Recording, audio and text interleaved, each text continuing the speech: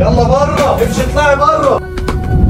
فلاح جاهل يرمي أخته في الشارع بعد ما رجعت غضبانة من بيت جوزها. يا ريت يا جماعة نكمل الرسالة دي للآخر لأنها مهمة جدا. وقبل ما نبدأ كلنا نصلي على النبي. وما تنسوش نوصل الفيديو ل ألف لايك.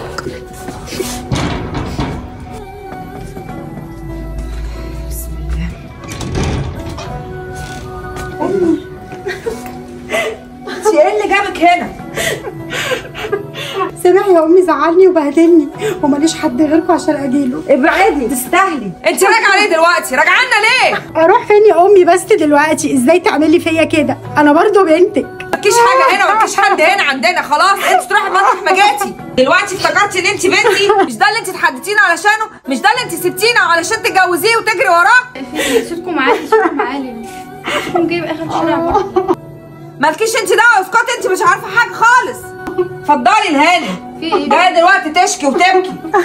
أروح فين دلوقتي يا هبة؟ بصي يا أمي بتعمل معايا إيه؟ حرام عليكي يا أمي تعملي فيا كده. وانت مش حرام عليكي اللي انت عملتيه فينا؟ والنبي يا ماما عشان خاطر بس سيبها بس اتفرجت عليها الناس برضه سيبها بس دلوقتي. بس انت مش عارفة حاجة. ومصطفى لما يجي دلوقتي. سيبها بس. سيبها بس هيعمل مشكلة يا بنتي. سيبها حقك عليا أنا سيبها بس دلوقتي.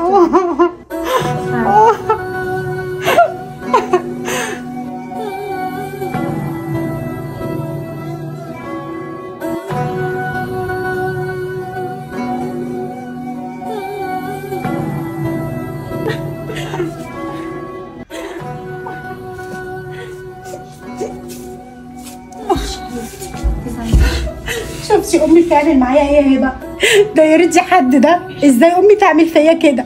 أنا عملت إيه لكل ده؟ كل ده علشان اتجوزت واحد أنا كنت عاوزاه وبحبه تعمل فيا أنا كده. أنا عملت إيه يعني؟ غلط يا هبة. أنت زعلانه بس حقك؟ عليا هو ده اللي حصل؟ أنا حاسة بيكي والله.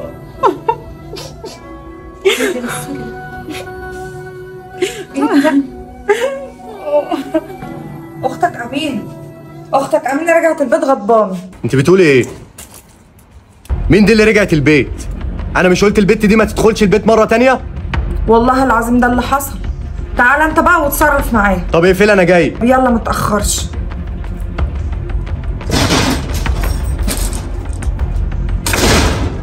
والله يا ابني ما ليا دعوة. هو أنا مش قلت البت دي ما تدخلش البيت ده مرة تانية؟ مراتك هي اللي دخلتني دخلتها إزاي يعني؟ أنا قلت لها بلاش مصطفى هيتضايق. طب اوعي كده اوعي خليه يتصرف معايا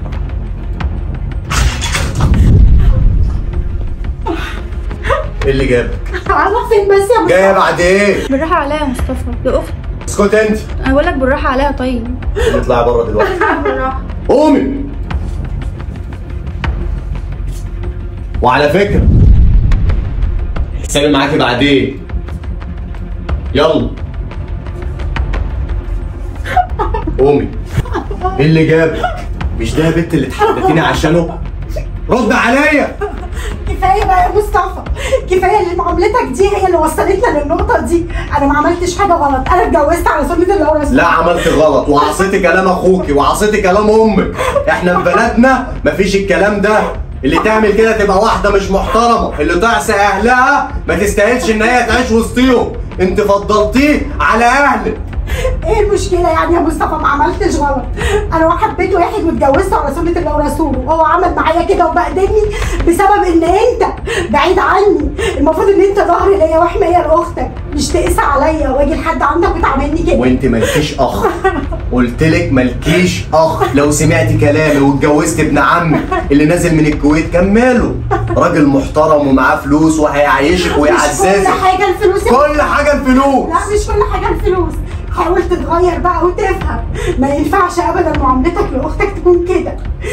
طيب أنا راجل ما بفهمش والبيت ده ما تدخلوش مرة تانية. حرام عليك يا مصطفى هتندم. يلا اطلعي بره هتندم على كده. اطلعي بره يلا بره يلا بره امشي اطلعي بره خدي عدك يا حسك عيني. أشوفك في البيت ده مرة تانية. متشكرة قوي يا مصطفى. الشكر لله يا أختي الشكر لله. عمري ما هنسى اللي أنت عملته وقال إيه؟ ده. بحبه ده هيعيشني ملك. هكون أسعد واحدة في الكون مع الإنسان اللي بحبه. مش ده كلامك؟ انت منين جبت القسوة دي كلها يا مصطفى؟ اشربي بقى اشربي اشربي. لا اللي انت اخترتيه هو اللي حنين. أنا قاسي وهو حنين. لا هو قاسي عشان عارف إني ماليش ظهر عشان عارف إن أنت بايعني ومحدش هيقف جنبي ولا حد هينسفني أنا ابدا. قلت اللي عندي. مصطفى أنا أختك وماليش حد غيركم في الدنيا دي. وإحنا نسيناك. لا ما تقساش عليا يا مصطفى. ما تنساش إن إحنا دم واحد وإخوات. راح فين دلوقتي يا مصطفى؟ روحي في داهية. يا مصطفى يا ابني مش ماليش. غيركم. برضه لقمه كان لحمنا ودمنا قسيت عليها جامد خلاص تعبت تعبت. يا ابني برضه بقول لك إيه ما تتدخليش في الموضوع ده. أنا هعرف أربيها إزاي. كفاية جبروت بقى يا مصطفى كفاية. لا مش كفاية. وأنت لسه شفت. حاجة؟ أنا ما عملتش حاجة لكل ده على فكرة. تعالى نشوفها كده ونطبطب عليها ونشوفها مالها وأنا ما. بطبطبش. اللي أنا قلته هو اللي هيمشي. مش كده يا مصطفى؟ قسينا عليها كتير. هربت من بين إيدينا. مش كده يا ابني؟ شيلي حاجتك يا بت وامشي اطلعي بره. ومالكيش دخل ياما بالموضوع ده. شيلي حاجتك واطلعي بره. انت خلاص. إحنا نسيناكي. أنا مش هسمع اللي على مزاجي بس. ما بس عندي بقى ما كفاية بقى اللي انت عملته فيها خلاص خدت على دماغها لما استكفى ما تنساش إن إحنا دم واحد وإخوات. مالكيش إخوات. ومالكيش أهل. إيه اللي حصل ده؟ يلا بينا حتى على البيت. يلا بينا يا ابهيم أنت. هو مش اخوها واقف. مفيش راجل هنا في البيت؟ أنا مش بيم على فكرة. أنا لما اتجوزت أختك اتجوزتها على سنة الله ورسوله. ما خطفتهاش. انت قليل الأدب. صلوا على النبي يا جماعة. اهدى بس يا معلم مصطفى؟ تعالى معايا. أنا عايز أتكلم معاك كلمتين يرضي الله. دلوقتي أختك ما غلطتش في حاجة. اتجوزت الإنسان اللي هي بتحبه. وبعدين أنا عايز أسألك سؤال. أنت حد جبرك على جوازتك دي. لا يا ابني محدش جبره محدش جبره على حاجة. ده اتجوز اللي على مزاجه واللي بيحبها. ده حتى قلنا له بنت عمك قال لا مش عايزها. أنا هتجوز اللي أنا عايزها. بص يا أستاذ إبراهيم إحنا ناس لنا عادات وتقاليد. مش معنى إن إحنا جينا للبندر نمشي على عاداتهم ونمشي على تقاليدهم. الراجل كلمته اللي بتمشي على الست والست لو عصته تتقطم رقبتها. أظن الرسالة وصلت.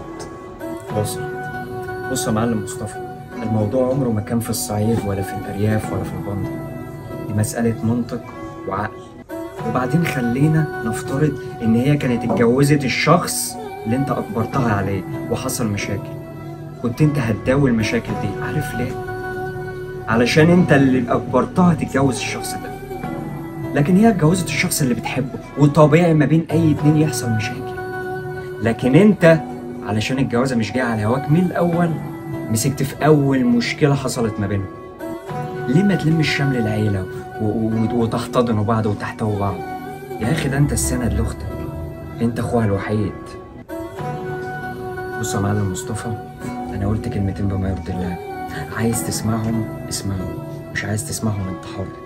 بس أنا بكلمك في الصح.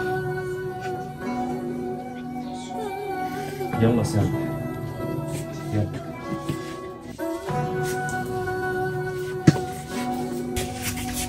تعالي يا أمين. تعالى يا أستاذ سامي. ده فعلا كلامك صح يا أستاذ إبراهيم وما قلتش غير الأصول. أمينة ما تزعليش مني. واخوكي من دلوقتي هيكون سند ليكي والبيت مفتوح لك في أي وقت. وبعتذر لك جدا يا أستاذ سامي. حقك عليا. ولا يهمك يا أستاذ مصطفى.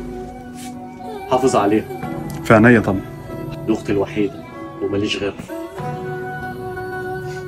كنت خايف عليك يا أمينة مش أكتر حبيبي يا أخويا. كنت واثقة إن أنا مش هون عليك ابدا يا مصطفى. عمر الدم ما يبقى مية ابدا. وأنت أختي وأنا ماليش غيرك. أنا بخاف عليك. حبيبي يا مصطفى. بيتي مفتوح لك في أي وقت. بس أتمنى لما تيجي بعد كده تيجي وأنت فرحانة أنت وجوزك وسعيدة عشان نعمل معاكم الواجب. حاضر يا أخويا. عين العقل عين العقل يا مصطفى. هو ده اللي أنا عايزاه منك يا ولا شاطر. خلاص يما اهدي الناس وقت. يا واد مالناش إلا بعض. حافظ عليا يا سامح. في عينيا طبعا. وأنا بعتذر لك جدا يا أستاذ إبراهيم لو كنت ولا يهمك يا أستاذ مصطفى. ربنا يهدي سركم. اللهم آمين يا رب. بعد إذنك. أتمنى تنورونا. أكيد. وبكده أظن رسالة الموضوع وصلت. يا ريت يا جماعة نوصل الفكرة دي لأكبر عدد ممكن من الناس. اعملوا share شجعونا على فعل الخير. ويا ريت نوصل الفيديو لخمسين ألف like اللي ينفذ يصلي على النبي ويكتب تم في الكومنتات.